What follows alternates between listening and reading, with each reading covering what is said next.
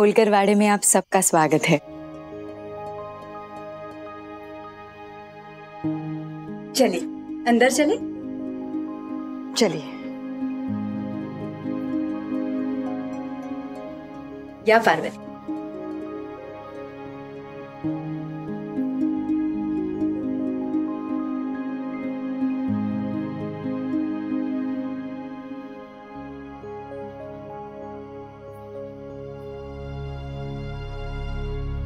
तुम्हें कुछ अजीब नहीं लगा हिल्या अजीब मतलब? मुझे तो ये परिवार बहुत अच्छा लगा। कितने मिलनसार लोग हैं ना ये। हाँ वो तो है। पता नहीं क्यों द्वारका ताई के बर्ताव को देखकर ऐसा लगा मानो उनके मन में कुछ चल रहा है। मैं समझी नहीं। समझ तो मुझे भी नहीं आ रहा है अहिल्या।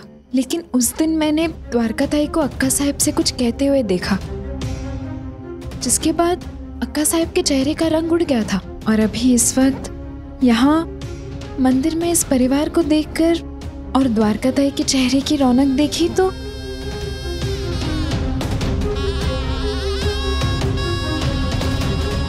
छोटिया, मैं अब भी कुछ समझ नहीं पाई। आप क्या कह रही है? पक्के तौर पे तो कुछ नहीं कह सकती अहिल्या लेकिन जाने क्यों? मन में एक आशंका ने घर बना लिया है। कैसी आशंका? क्या बात है छोटी ये छोटी रानी साहब तुको जी साहब को आपसे बात करनी है। वो आपका रास्ता देख रहे हैं।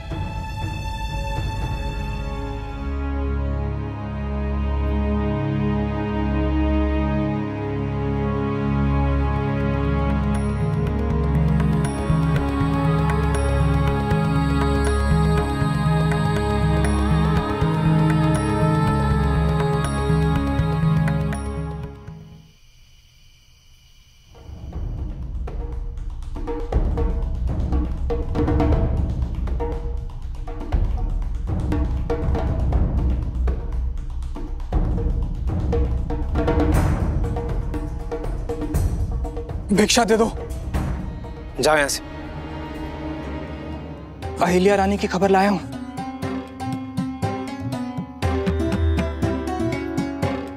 आपको फ़िक्र थी कि अहिल्या रानी ने आपके पीछे जासूस लगा रखे हैं। इसलिए मैं भेस बदल कर आया हूँ। माहितपुर में जो भी काले काम हो रहे हैं उसकी खबर अहिल्या रानी के कानों तक पहुँच चुकी है।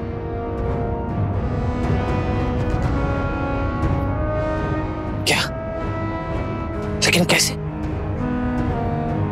वो महितपुर से जो आदमी दरबार में शिकायत करने आया था, उसे तो मैंने ठिकाने लगवा दिया था।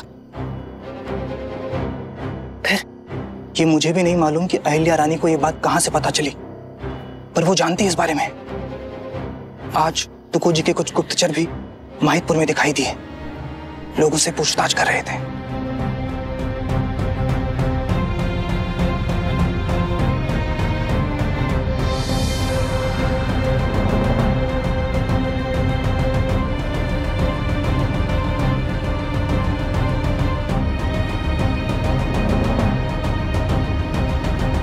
गुप्तचर गए जानकारी लेने लेकिन लोग मुँह खोलने के लिए राज़ी नहीं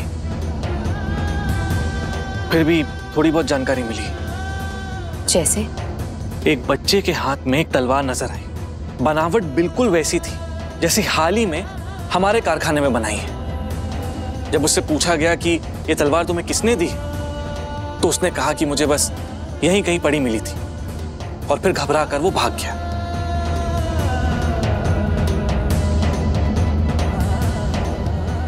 तो बहुत चिंता वाली बात है भाजी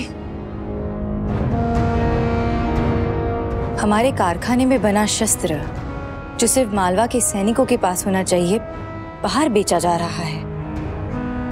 और वो भी महीदपुर गाँव में, जहाँ से कई और शिकायतें भी मिली हैं हमें। तुम बिल्कुल सही कह रही हो, अहिल्या।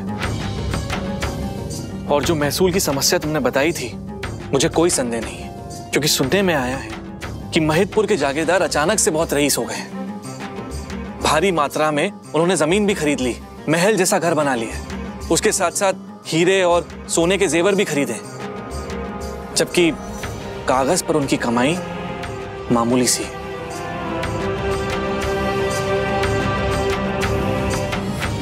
गाँव में जो भी गैरकानूनी काम हो रहा है, उसके खिलाफ कोई सबूत तो हमारे पास है नहीं। कुछ बहुत चालाकी से हुआ है, अहिल्या। लेकिन सुनी सुनाई बातों के आधार पर हम कोई ठोस कदम भी नहीं उठा सकते। सबूत खोजेंगे हम, भाऊजी, और गवाहों की तलाश भी करेंगे। मैं अब भी छोटे सूबेदार जी से कहती हूँ कि एक विशेष दल का गठन करके महिदपुर भेजें। सबूतों के इकट्ठा होते ही तुरंत कार्रवाई भी शुरू हो जाएगी। काका? सारा सामान आ गया क्या? जी हाँ छोटी रानी। मैं इसे रसोई में रख देता हूँ। जी।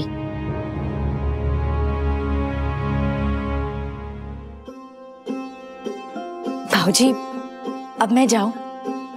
वो मजली आई साहब के कुछ मेहमान आए हुए हैं। उनके लिए शाही भोजन का इंतज़ाम भी करना है मुझे। ये सब सामान उसी के लिए मंगवाया गया था। अहिल्या लेकिन इतने कम समय में शाही भोजन की तैयारी करूँगी? गौतमा रानी साहब का आदेश है क्या?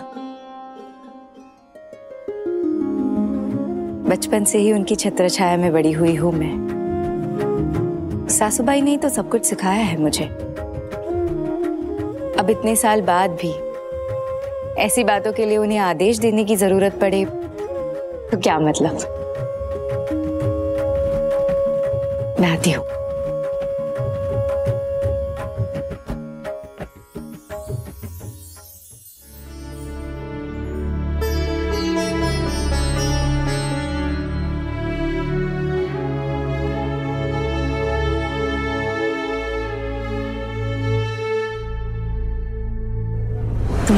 पार्वती है ना, इतनी मधुर आवाज़ में तुमने महादेव जी की आरती पूरी की। आभार तो मुझे मानना चाहिए तुम्हारा।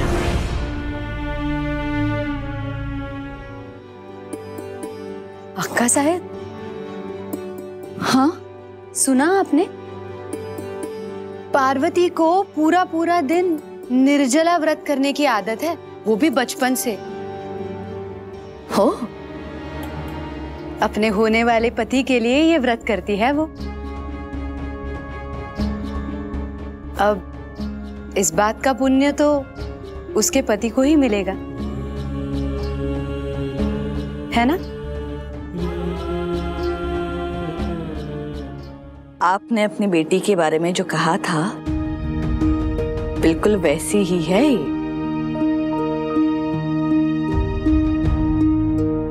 मन प्रसन्न हो गया इससे मिलकर।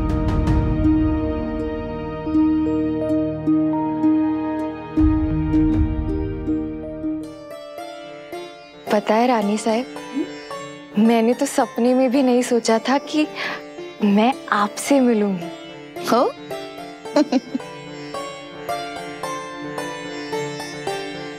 इतने बड़े इतने सुंदर महल में आऊँगी। देखोगी?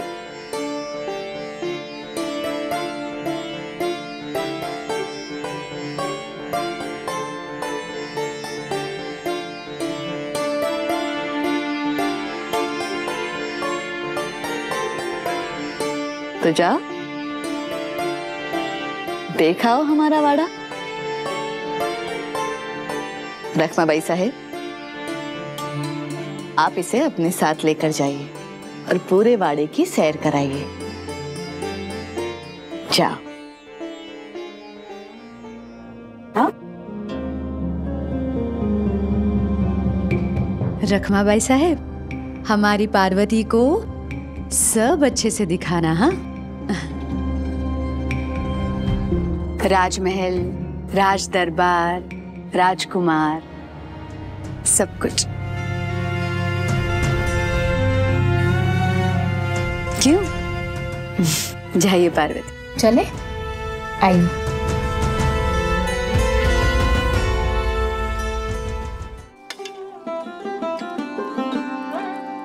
मसालों को ज़्यादा देर तक मत सेकना। सब्ज़ी का रंग बदल जाता है।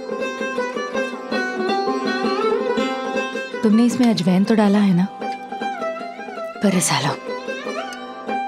काका इस कड़ी को सिर्फ़ हींग और खड़ी लाल मिर्च में ही बघारना ठीक है?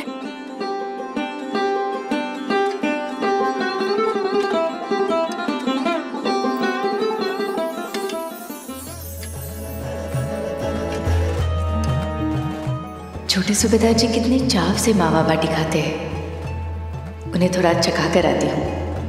खुश हो जाएँगे।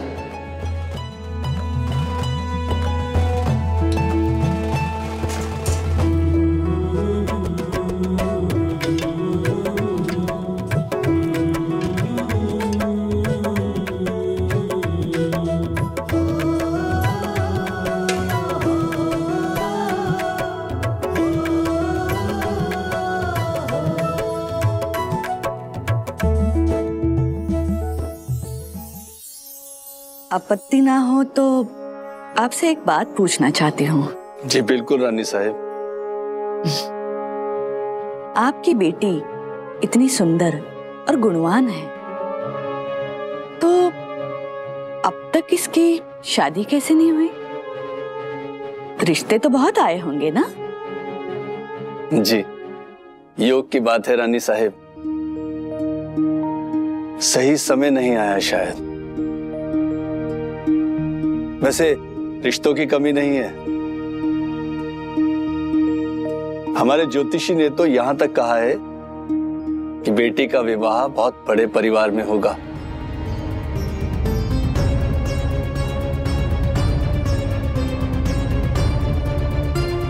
देखा? विधाता ने सब कुछ लिखा होता है। नहीं अक्का साहब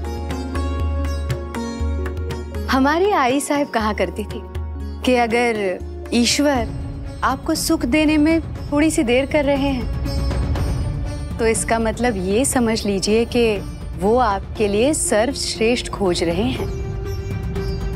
कहते हैं ना, उसके घर देर है, अंधेर नहीं।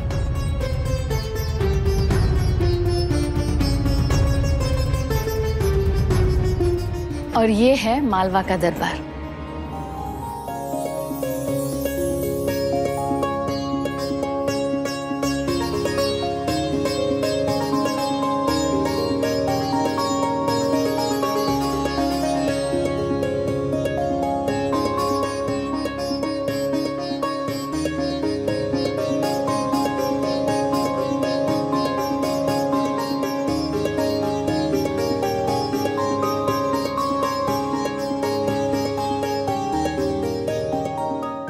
मतलब यहाँ बैठकर राजा साहब अपनी प्रजा से मिलते उनके दुख दर्द समझते मैंने तो सिर्फ़ कहानियों में ये सब सुना था, कभी देखा नहीं।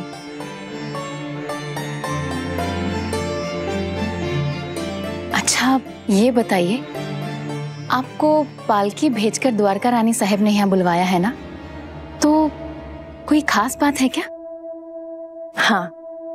द्वारका रानी साहब और गौतमा रानी साहब चाहती हैं कि मैं यहाँ इस वाड़े में उनके साथ गुड़ी पाड़वा मनाऊं यहाँ उत्सव कैसे मनाए जाते हैं वो देखूँ।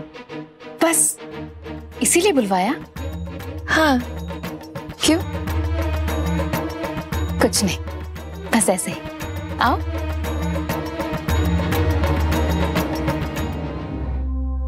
हमारे यहाँ तो हर साल इतने सारे त्योहार मनाए जाते हैं। वो भी खूब धूमधाम से। लेकिन आप लोग पहले तो कभी नहीं आए। सब योग की बात होती है ना। इस बार शायद देवी आई की कृपा हो गई। देवी की कृपा तो हुई है लेकिन ग्राम देवी की या द्वारका देवी की वो समझ नहीं आ रहा।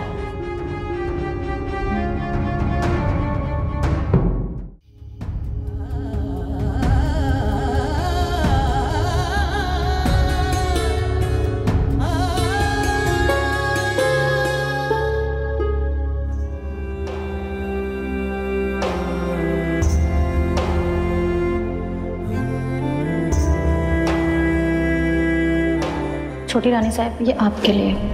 ये तो मालवा का सरकारी लकौटा है। किसने भेजा?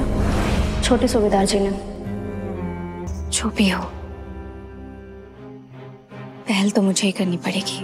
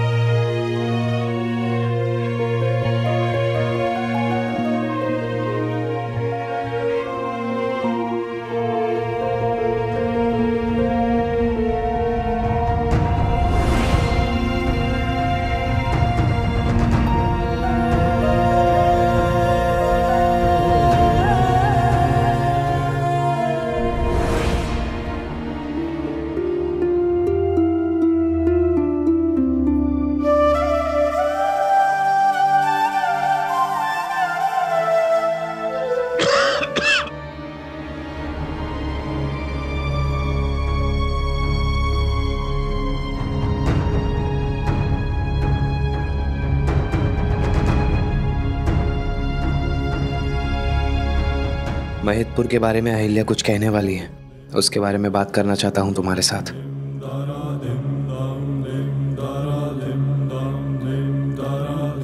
छोटे सूबेदार जी मैंने आपके लिए अभ्यास कर रहे हैं हाँ पर मैं तो ये बस कहा ना? व्यस्त हैं हम। अभ्यास करना है बाबूजी के साथ। जाओ यहाँ से।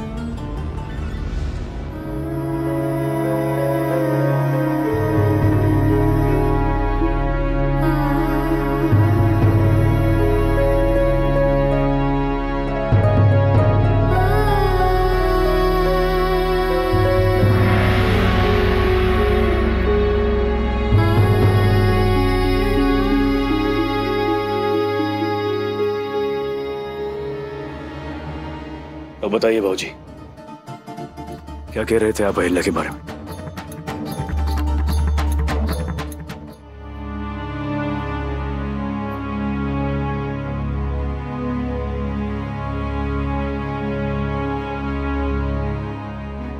काम के चक्कर में दिन भर यहाँ से वहाँ दस चक्कर लगाने पड़ते हैं। वो कम था, जो इसे बाड़ी की सैर करवाने भेज दिया मुझे रानी साहब ने। कुछ काम की बात भी पता नहीं चल पाई इस लड़की से।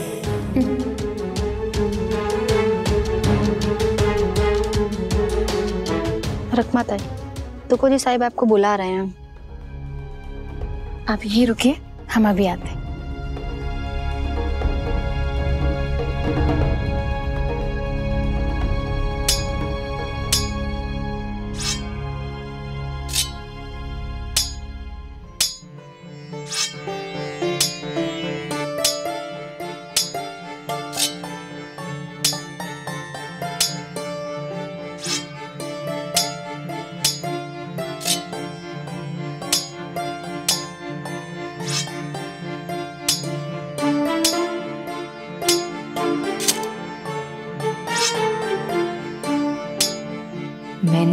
तक किसी को इस तरह तलवार चलाते नहीं देखा। कौन है? पहले हम पर नज़र रखें। ऐसा हो नहीं सकता। ये तो मैं भी सोचता था, लेकिन तुम ही बताओ, अहिल्या को महितपुर के जागीरदार के बारे में कैसे पता चला? उनसे लिए कर्ज के बारे में तुमने तो बताया नहीं अहिल्या को। मतलब उसने अपने सूत्रों से एक खबर निकलवाई है।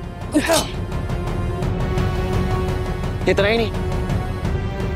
आज कुछ गुप्तचर भी भेजे उसने महितपुर में, जो वहाँ के लोगों से जागीरदार को लेकर सवाल कर रहे हैं। मुझे लगता है जागीरदार को किसी बड़ी झंझट में डाल कर रहेगी वो। तुम्हारी मदद जो की है उसने, मेरी समझ में नहीं आ रहा है। तुम्हें सबसे काट कर अलग क्यों करना चाहती है, अहिल्या? पति हो उसके, दुश्मन नहीं।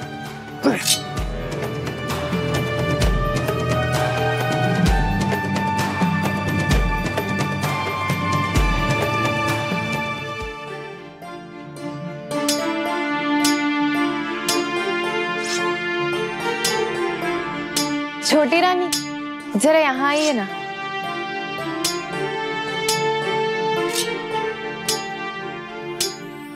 वो कौन है?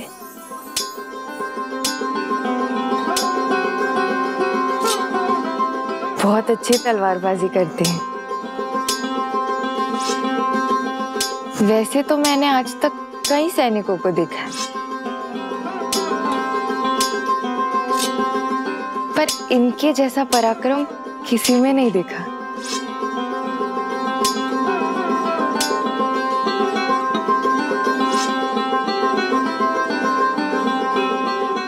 कैसे देखती?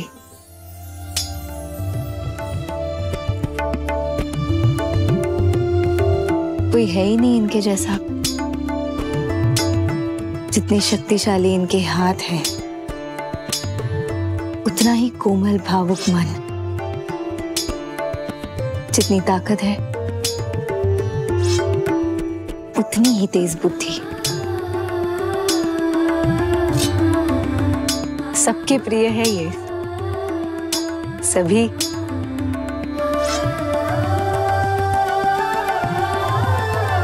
बहुत पसंद करते हैं इन्हें। अपनी जान छिड़कते हैं इन पर। ये और बात है कि इन्हें नहीं पता।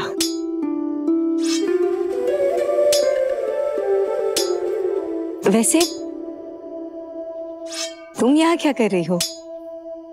जी, वो वाड़ा देख रही थी। रखमा बहनी ने मुझे सब दिखाया, समझाया, यहाँ की हर अच्छी चीज़ों के बारे में बताया। हम्म। और तुम्हारी नज़र वाड़े के सबसे शानदार, नायाब और अनमोल रतन पर पड़ गई। है ना?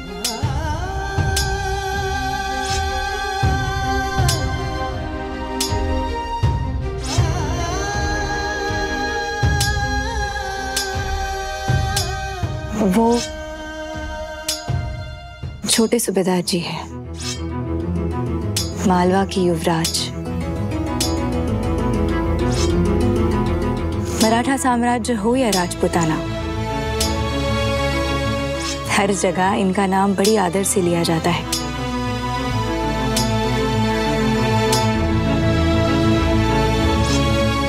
पराक्रमी योद्धा, खंडेराव होलकर साहेब।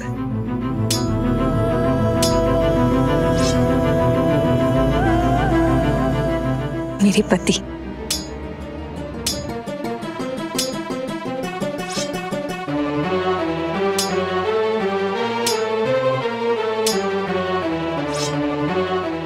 करना।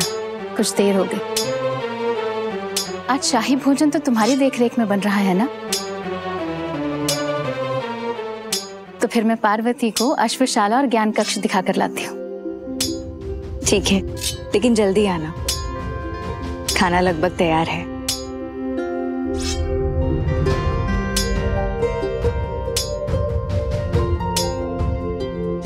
चले।